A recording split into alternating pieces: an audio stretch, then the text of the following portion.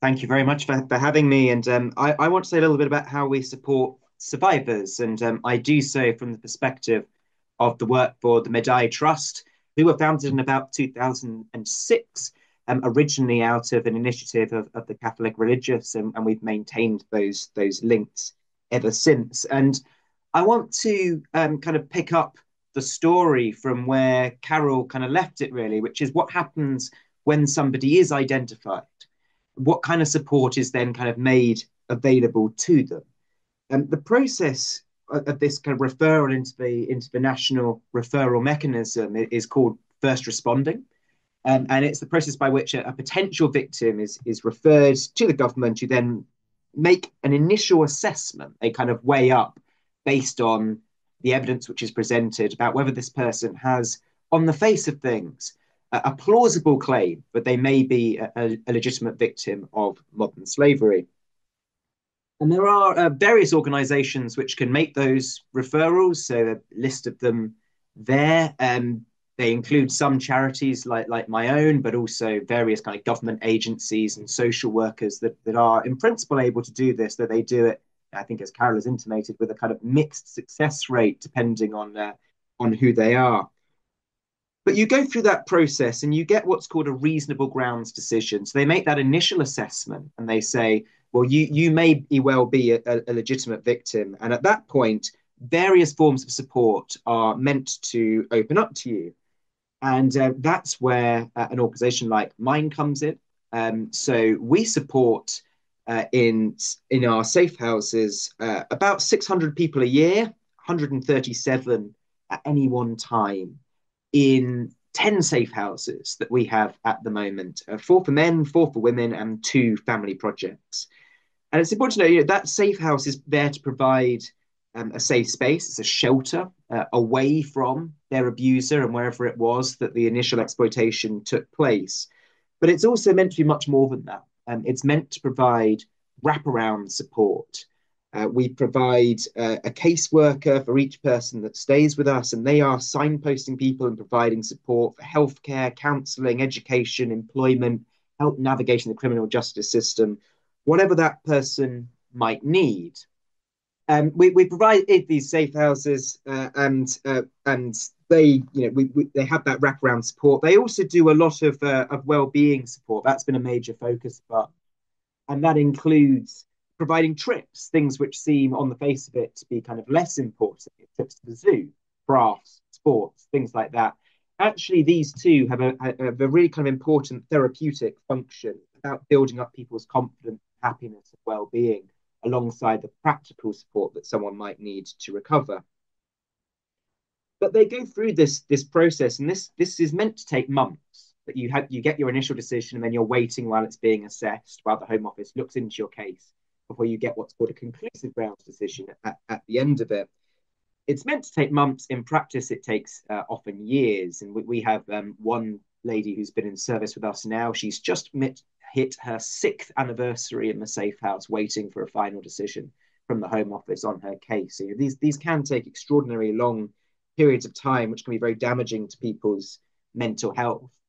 Um, but at the end of it, I think it's it, you know it's important to kind of emphasize this. They go through that process um, and other forms of support which may be available. They're not fixed at the end of it. No one it flips a switch and is suddenly recovered uh, at the end of that process. That's not how traumatized people work. And often we have someone in there with us for say some months or a few years, and then the Home Office will make a final decision and say, "Well, now you need to move them on." You know, they now have the legal ability to work in this country or to receive benefits. They're no longer your responsibility. They need to be in the community. And what we find is that's all well and good to say, but it's not how it works in practice. So we also provide a, a moving on project, which is all about providing ongoing support to people who are living in the community, but actually they still need help with access to education or to healthcare. Um, or navigating the benefit system, or migration advice, or housing, or all sorts of other things which people require. But all of that um, is challenging. There are lots of challenges in, in providing this ongoing support, and it, it's made difficult by all sorts of factors. It's made difficult by the people themselves. You know, any, anyone who's worked with, with traumatized people knows these are not always easy people. Um, that many of the men in particular uh, were, as part of their exploitation, paid in alcohol and drugs and have an alcohol and drug dependency. Many of them use alcohol and drugs as a way of dealing with their trauma after the event. Many of them suffer from severe mental health issues, which, which are ongoing. The climate towards those who are migrants is not favorable. You know, and we saw the, the violence and the hostility um, over the past few months about 50 to 60% of our service users at the moment are also in the asylum system. Uh, and we feel that concern about you know, what will happen if somebody were to target a safe house, would find the location, target it. That is, that is a worry for us. The policy environment is not always easy to, to work in in this space. But the biggest challenge of all um, is, is none of those things, really. It, it's what I would call a spiritual challenge. It's, it's the task of rebuilding people who've been often physically, emotionally, and spiritually damaged by the experience of, of what they've been through. And I think I wanted to to pause on that point and look a little bit into kind of Catholic social teaching and and in particular the idea of the betrayal of right relationships and of human dignity, how difficult it is to restore and rebuild people in, in that situation, and, and, to look at a couple of the forms of, of modern slavery which which Father Mark so helpfully picked out. And the first of those is that I wanted to talk about is around sexual exploitation. Um, people who've been forced into prostitution or, or sexual abuse against their will. And um, one of the most depressing features with this is the question about who does the trafficking and benefiting from this. Criminal gangs, yes, and you know we, we, there are the films and the dramas around that, but actually, what's much more depressing is that it's it's it's actually much more often not criminal gangs. It's people's families uh, and intimate partners, boyfriends, husbands, who are the people who are doing the initial trafficking and the benefiting from people's exploitation in, in an overwhelming number of cases.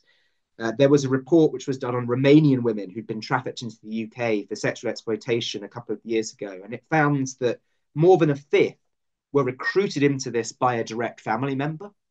And more than 64% had a life partner, uh, a boyfriend or a husband who was benefiting financially from the exploitation of someone who thought that they were their partner. One of the most depressingly common features uh, in our work is that we hear this story again and again and again of family members, boyfriends, husbands, who are the ones who, who've perpetuated this crime and that, of course, is such a violation of Christian teaching on the family and, and what close personal bonds are meant to provide. And one of the great challenges facing my organization is how do you rebuild in people a, a sense of worthiness and a sense of trust in healthy, non abusive relationships? And that's my kind of first major point on this. It, it's that for many victims, it's not just that something evil has been done to them, though it has it's that in many cases it's been perpetuated by what should have been the key, safest family relationship that they were meant to have. And we teach in Catholic social teaching that the, the family is the core kind of social unit uh, and it's the center of social and spiritual development. And that makes it all the more spiritually and mentally destructive when that is what has been turned against you uh, as the nature of your, your exploitation. And the task of recovery goes so far beyond the practical reality of rescuing someone from a brothel or taking them away from a gang. It's that much longer and more difficult task of rebuilding the capacity to connect, to trust, and to love. And then the second major area that I wanted to talk about in brief was, was around uh, labor exploitation. And at its most basic, of course, this is not remotely um, ethically complicated. It's forcing people to work without pay. But to tease out just one additional factor, it's that violation of dignity and of that Catholic social teaching principle of the dignity of work. So Pope Francis in Laudato Si writes that work should be the setting for personal growth, where aspects of life enter into play, creativity, planning for the future, developing our talents, living out our values, giving glory to God. Uh, and John Paul II in Laborem Exercens, work is not only good in the sense that it's useful, it's also good as being something worthy, something that corresponds to man's dignity and increases it. But of course, what we see in labor exploitation is a flipping of that. This is labor at the service of capital. It's a deliberate violation and a stripping away not of development and agency and development, but of your ability to support yourself or have any choices of your own. Uh, Gustavo Gutierrez writes that dignity necessitates that the poor be subjects of their own history, holding their own destiny in their hands. And that's such a crucial observation.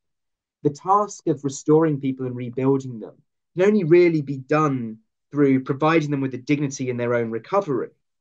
But that's incredibly difficult for people who've spent years having that stripped away from them, not only in their exploitation, but also in the care which is meant to be given to them, which is frequently re traumatizing and difficult and keeps you in this kind of situation of being reliant on systems around you.